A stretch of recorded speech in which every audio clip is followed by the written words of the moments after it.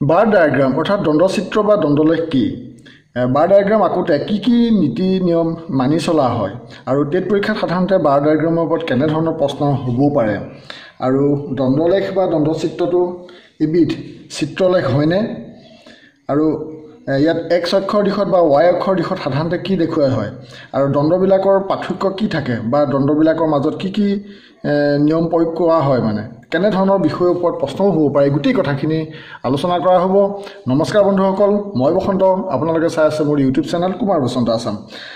Lower primary টেটৰ যি syllabus আছে চিলেবাছত বাৰ ডায়েগ্ৰামটো এটা চিলেবাছৰ অন্তৰ্ভুক্ত বিষয়। আৰু এই আজি মই ভিডিঅ'টোত বাৰ ডায়েগ্ৰামৰ সম্পৰ্কে কিছু কথা আলোচনা কৰিম। এতিয়া প্ৰথম কথা কৈ লৈছোঁ যে দণ্ডলেখ এবিধ চিত্ৰলেখ হয়নে? হয় দণ্ডলেখো এবিধ চিত্ৰলেখৰ অন্তৰ্গত হয়। মানে দণ্ডলেখো এবিধ চিত্ৰলেখ হ'ব পাৰে। আৰু দণ্ডচিত্ৰ অকাৰ ধৰণটো চিত্ৰ প্ৰতীকৰ দৰে প্ৰায় একেই হয়। আৰু দণ্ডলেখ হ'ল কি? দণ্ডলেখ কি বুলি যদি সোধা হয় তাৰ উত্তৰত ক'ব লাগিব যে ছবিৰ মাধ্যমত তথ্যৰ প্ৰকাশ আৰু সচৰাচৰ কোনো চলক নিৰ্দেশ কৰা এডাল অক্ষত সমান অন্তৰালত একে প্ৰস্থযুক্ত দণ্ড কিছুমান ইয়াৰ দ্বাৰা প্ৰকাশ কৰা হয় আৰু চলকটোৰ মানবোৰ প্ৰকাশ কৰা হয়। আন এডাল অক্ষ ৱাই এইফালে দেখিছে ৱাই ফালে প্ৰকাশ কৰা হয়। এয়া হৈছে এক্স অক্ষ। আৰু দণ্ডৰ উচ্চতা নিৰ্ভৰ কৰে চলকটোৰ মানৰ ওপৰত। এই দণ্ডটো কিমান উচ্চতাকে আমি আঁকিব লাগিব সেইটো নিৰ্ভৰ কৰে তাৰ চলকৰ মানৰ ওপৰত। কথাখিনি মই আকৌ এবাৰ কৈ দিছোঁ যে দণ্ডলেখ কি যে ছবিৰ মাধ্যমত তথ্যৰ প্ৰকাশ আৰু সচৰাচৰ কোনো চলক নিৰ্দেশ কৰা অক্ষত এইটো এক অক্ষত কৰিব লাগিব সমান অন্তৰালত মানে।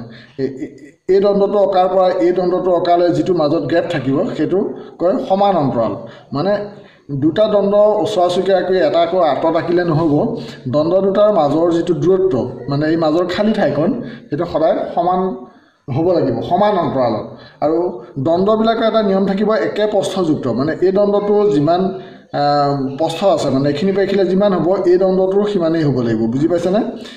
এই দণ্ডবিলাকৰ প্ৰস্থবিলাক সমান সমান হ'ব লাগিব আৰু দণ্ডবিলাকৰ মাজৰ যিটো খালী ঠাই খালী ঠাইটো সমান হ'ব লাগিব। কিন্তু এইটো নহয় যে দণ্ডই খালী ঠায়ে সমান হ'ব লাগিব এইটো কথা নহয়। যে এই দণ্ডটো আমি ইয়াত আকৌতে দণ্ডটো যিমানকৈ ৰাখিছোঁ খালী ঠাইটো সিমানেই দিছোঁ। কিন্তু সিমান নিদিবও পাৰি। কিন্তু এটা নিয়ম মানি চলিব লাগিব যে প্ৰতিটো দণ্ড সমান চাইজৰে হ'ব লাগিব। মানে প্ৰস্থটো এই উচ্চতাটো হ'ব পাৰে অঁকাৰ পিছত কোনোবা এটা বেছি কোনোবা এটা কম।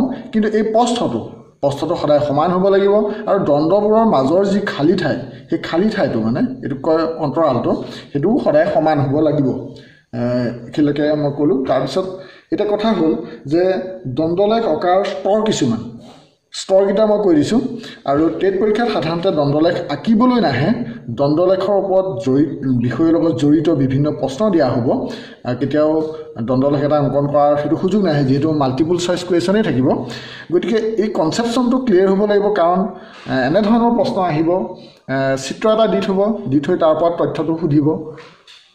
তেনেধৰণে এটা প্ৰশ্ন হ'ব পাৰে। আৰু দণ্ডলেখ সম্পৰ্কীয় কেইবাটাও বাক্য দি থ'ব তাৰ কোনটো শুদ্ধ বা অশুদ্ধ সেইটো সুধিব। যে দণ্ডলেখৰ প্ৰতিটো দণ্ডৰ অন্তৰাল সমান হ'ব লাগে দণ্ডবিলাকৰ উচ্চতা সমান হ'ব লাগে এনেধৰণৰ বাক্য কিছুমান দিয়া থাকিব। আমি পৰৱৰ্তী সময়ত এনেধৰণৰ বিভিন্ন প্ৰশ্নও আলোচনা কৰিম তেতিয়া সুবিধা হ'ব নহয় জানো? এতিয়া মই সেই গোটেই কথাটো ক্লিয়াৰকৈ বুজি পাবৰ কাৰণে বাৰ ডায়েগ্ৰামৰ লগত জড়িত কথাবিলাক মই মানে খৰচি মাৰি কৈ দিব বিচাৰিছোঁ। এতিয়া দণ্ডলেখ আকৌতে কেইটামান স্তৰ আছে যে যদিও টেট পৰীক্ষাত দণ্ডলেখ আঁকিবলৈ নাহে কিন্তু এই স্তৰবোৰ জানিব লাগিব কাৰণ ইয়াৰ ওপৰতে প্ৰশ্নবিলাক হ'ব। এতিয়া স্তৰ একত থাকিব সদায় এডাল উলম্ব আৰু এডাল অনুভূমি ৰেখা থাকিব। এই এইটো যদি অ' বুলি লিখোঁ তেতিয়াহ'লে অ'ৰ পৰা ৱাইলৈ এডাল কি হ'ব? অ'ৰ পৰা ৱাইলৈ এডাল উলম্ব ৰেখা। আৰু অ'ৰ পৰা এক্সলৈ এডাল কি ৰেখা? অনুভূমিক ৰেখা। গতিকে সদায় এডাল অনুভূমিক ৰেখা আৰু এডাল উলম্ব ৰেখা আঁকিব লাগিব। নেক্সট পইণ্টটো হৈছে যে একে শ্ৰেণীৰ তথ্যক অনুভূমি ৰেখাৰ দিশত মানে এটা শ্ৰেণীৰ যিখিনি তথ্য সেইটো অনুভূমি ৰেখাৰ দিশত ৰাখিব থাকিব লাগিব আৰু এক শ্ৰেণীৰ তথ্যক উলম্ব ৰেখাৰ দিশত দেখুৱাব লাগিব। মই যে ইয়াত চিত্ৰ এটা দেখুৱাইছোঁ এই চিত্ৰটো এনেধৰণৰ এটা বিষয় যে এজন ছাত্ৰই ইংৰাজী গণিত বিজ্ঞান আৰু অসমীয়াত পঞ্চাছৰ ভিতৰত পোৱা নম্বৰসমূহ দণ্ডচিত্ৰৰ সহায়ত দেখুওৱা হৈছে। কি ক'লোঁ যে এজন ছাত্ৰই ইংৰাজী গণিত বিজ্ঞান আৰু অসমীয়া এই চাৰিটা বিষয়ত পোৱা নম্বৰ মুঠ নম্বৰ হ'ল পঞ্চাছ। পঞ্চাছৰ ভিতৰত পোৱা নম্বৰ ইয়াতে দণ্ডচিত্ৰৰ সহায়ত প্ৰকাশ কৰা হৈছে। গতিকে বিষয়বিলাক একেফালে গ'ল। ইংৰাজীটো এফালে গৈ গণিতটো এফালে নাযায়। গতিকে বিষয়বিলাক এইটো কি হ'ল? অনুভূমিক ৰেখাৰ দিশত গ'ল। হ'ল?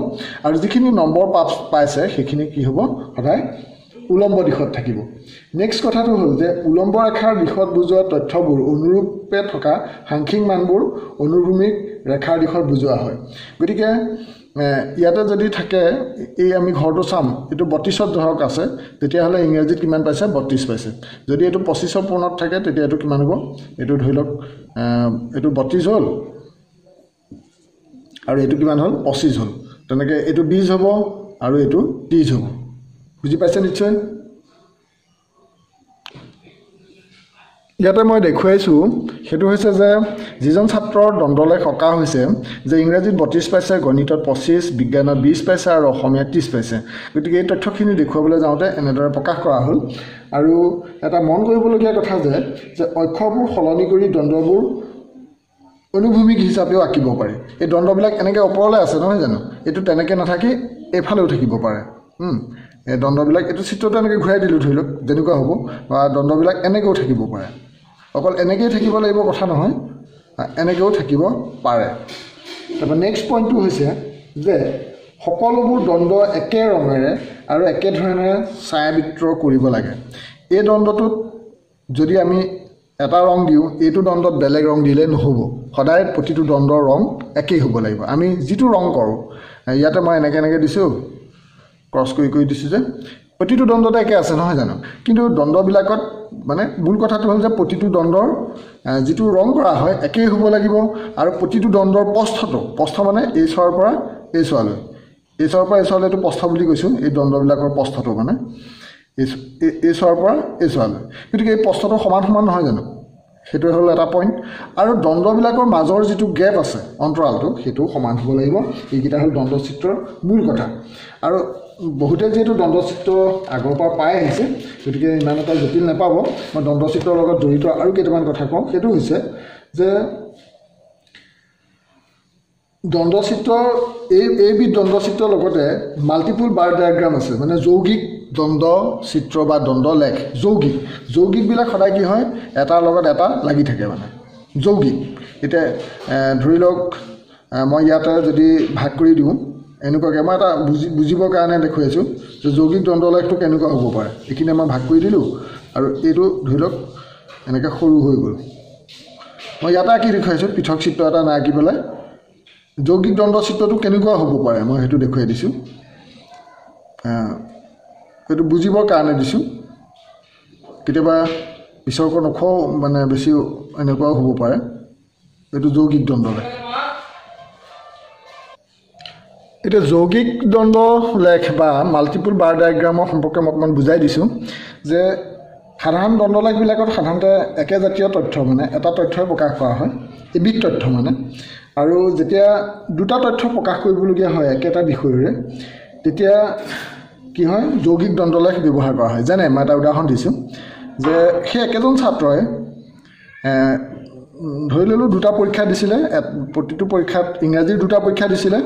এটা আমি ইউনিট টেষ্ট বুলি ক'ব পাৰোঁ ইউনিট টেষ্ট ওৱান আৰু ইউনিট টেষ্ট টু গণিতৰ দুটা দিছিলে বিজ্ঞানৰ দুটা দিছিলে অসমীয়া বা আৰু বিষয় থাকিব পাৰে। অকল এই চাৰিটা বিষয় বুলি নহয় আৰু দুটা বিষয় থাকিব পাৰে। এতিয়া ধৰি ল'লোঁ যে এজন ছাত্ৰই দুটা ইউনিট টেষ্টত পোৱা নম্বৰসমূহ এনেধৰণৰ। তেওঁ ইংৰাজীত পাইছিলে এবাৰ পঁচিছ পালে এবাৰ বত্ৰিছ পালে। গণিতত এবাৰ ওঠৰ পালে এবাৰ পঁচিছ পালে। বিজ্ঞানত বাৰ পালে আৰু বিছ পালে আৰু অসমীয়াত পঁয়ত্ৰিছ পালে ত্ৰিছ পালে। হ'ল? এতিয়া আমি মানে এইটো এটা ইউনিট টেষ্ট পঞ্চাছ নম্বৰ এটা পৰীক্ষা বুলি ধৰি লৈছোঁ। হ'ল? পঞ্চাছ নম্বৰ এটা পৰীক্ষাৰ ভিতৰত পাইছে। এতিয়া এই ইংৰাজীৰ মানে দুটা ইউনিট টেষ্টৰ নম্বৰ প্ৰকাশ কৰিবলৈ হ'লে কি কৰিব লাগিব? যৌগিক দণ্ডলেখ ইংৰাজীত কয় মাল্টিপুল বাৰ ডায়েগ্ৰাম যৌগিক দণ্ডলেখৰ সহায়ত প্ৰকাশ কৰিব পাৰি এনেদৰে। এনেদৰে ইয়াত মই চিত্ৰত দেখুওৱাৰ দৰে ইয়াতো নিয়ম সেই একেই মানে দণ্ডলেখবিলাকৰ কি হৈছে যিকেইটা দণ্ড আঁকিছোঁ তাৰ প্ৰস্থটো সমান হ'ব লাগিব আৰু মাজৰ যিটো অন্তৰাল গেপকেইটা গেপকেইটা সমান হ'ব লাগিব। ক্লিয়াৰ হ'ল? আৰু যৌগিকবিলাকত সদায় এনেদৰে দুটা লাগি লাগি থাকে। কোনোবা এটা বেছি যিটো বেছি বেছি হ'ব কোনোবা এটা কম কম হ'ব। গতিকে এয়াই হৈছে যৌগিক দণ্ডলেখ। আৰু এই সম্পৰ্কত কেনে কেনে কেনেধৰণৰ প্ৰশ্ন হ'ব পাৰে মই ল'ৰা প্ৰাইমেৰী টেটৰ গণিতৰ চিলেবাছ শেষ কৰাৰ পাছতেই মই প্ৰশ্ন কিছুমান আলোচনা কৰিম। আৰু এটা বিষয় আছে সেইটো হ'ল পাই চিত্ৰ। আপোনালোকৰ চিলেবাছত স্তম্ভলেখটো দিয়া নাই। পাই চিত্ৰটো দিছে। পাই চিত্ৰৰ বিষয়ে আমি পৰৱৰ্তী ভিডিঅ'ত আলোচনা কৰিম। আৰু ভিডিঅ'টোৰ কথাখিনিৰ পৰা আপোনালোক কিমান উপকৃত হ'ব পাৰিছে নিশ্চয় কমেণ্ট কৰি জনাব। আপোনালোকৰ কাৰণে আগন্তুক পৰীক্ষা সময়লৈকে মই ধাৰাবাহিক ভিডিঅ' দি থাকিম। চাই থাকিব আৰু ইউটিউবত চাৰ্চ কৰিব কুমাৰ বসন্ত আছাম। আৰু শেষত কওঁ ভিডিঅ'টো ভাল পালে লাইক কৰিব শ্বেয়াৰ কৰিব আৰু চেনেলটো যদিহে ছাবস্ক্ৰাইব কৰা নাই তেতিয়াহ'লে জৰুৰ ছাবস্ক্ৰাইব কৰিব আৰু বেল আইকনটো প্ৰেছ কৰি থ'ব যাতে মই ভিডিঅ' দিয়াৰ লগে লগে আপুনি পাবলৈ সক্ষম হয়। আকৌ এটা নতুন ভিডিঅ' লগ পাম। থেংক ইউ ফৰ ৱাচিং জয় অসম